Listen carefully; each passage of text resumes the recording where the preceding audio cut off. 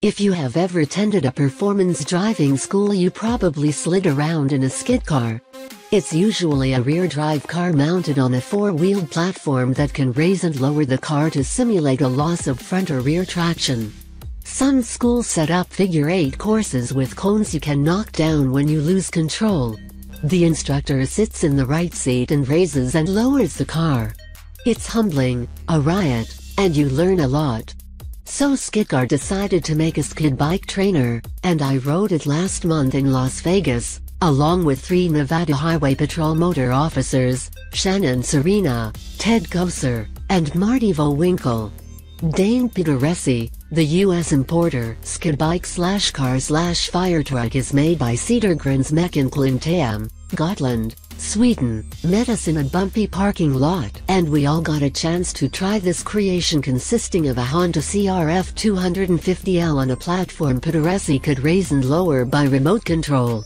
Skid bike is a chance for riders to feel the loss of front or rear traction, Pederesi explained, without risking life and limb. That last part is important, and the previous best place to learn these lessons was on a dirt bike and ensconced in a lot of padded riding gear. Skid bike is safer than a dirt bike and the adjustability of the platform guarantees that the rider will lose traction. Dirt bikes can be ridden so slowly and carefully that traction loss isn't always part of the equation.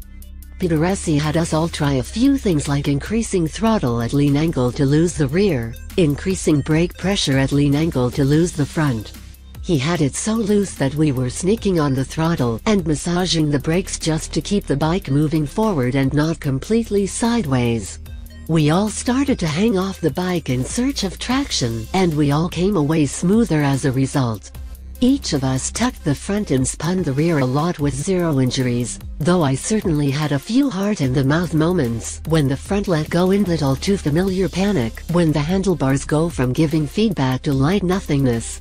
The first time I lost the front I instinctively put my foot out, but it simply landed on the decking surrounding the foot pegs, so no damage. Mistakes are allowed on the skid bike. We all starting playing with losing and saving the front and back by modulating brakes, throttle, lean angle, and body position. The grip was so light, it reminded us of sliding a car around on a sheet of ice with the slightest inputs creating big results. And like a car in an empty icy parking lot, Skid Bike put us at the limit of grip with little risk, allowing us to get comfortable with the bike moving around underneath us. Over the years, I've sampled many riding simulators and nothing comes close to the real feel, safety and instruction of the skid bike. To date, it's the safest and best way to learn to ride, and learn the limits of grip, with relatively little risk. But there are some limitations, mostly the recommended speeds. Pederesi wanted us to ride at a maximum speed of 20 miles per hour, which was easy to exceed. Over 20 miles per hour, Pederesi told us, the skid bike starts to store too much energy and can really snap back and unseat the rider. The unit is safe above those speeds, but it could be pretty violent when it regains traction. Part of the challenge was then keeping an eye on the speedometer and doing your best to stick to the 20 miles per hour maximum. The skid bike platform is quite wide and the parking lot we rode in had several obstacles to avoid, like abandoned cars, a chain link fence and even a hut-like building. The three officers and I did take out a few cones before coming to terms with its width, but managed not to damage anything expensive. The skid bike's feel is much heavier than most motorcycles and that takes some adjustment time. Once rolling, it has a motorcycle feel with the usual controls doing the usual things, but with gravity on vacation. But still heavy feeling. Not a deal breaker, but something to consider if you plan to use it as a new rider training apparatus. Skid bike is an excellent way to get riders exploring the boundaries of grip and feeling the loss of traction, and is also a great way to get a brand new rider to learn the clutch, gearbox, brakes, and balance. It's a little goofy to get rolling, but once you get the clutch out in first gear the CRF becomes very motorcycle-like, albeit hefty and wide. It's basically impossible to fall off, and the three officers and I had no crazy moments. Certainly over-aggressiveness and too much speed would combine to create significant drama, but Serena, Coker and Winkle were exceedingly smooth and really enjoyed their time beyond the edge of grip. Two of them were veteran dirt bike riders and you could tell they had learned a lot from their time off the pavement.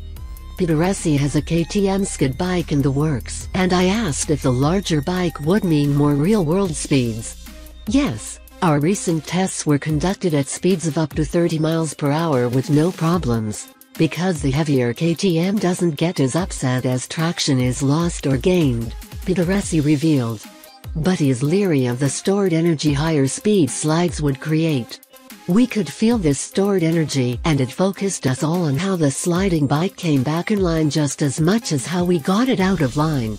If you've ever had a car fishtail or swap on you, you know this feeling of stored energy looking for an escape. Pederesi is worried about a swap swap, swap, highside. One solution would be to strap the rider onto the bike with a harness, but I'm not sure higher speeds are necessary to gain the lessons skid bike delivers. It would just be a whole lot more fun. And this thing is fun, while teaching lessons some of us have learned at high price tags. Like ABS and traction control, Skid Bike's design and technology allows riders of all levels to make mistakes without crashing to the ground.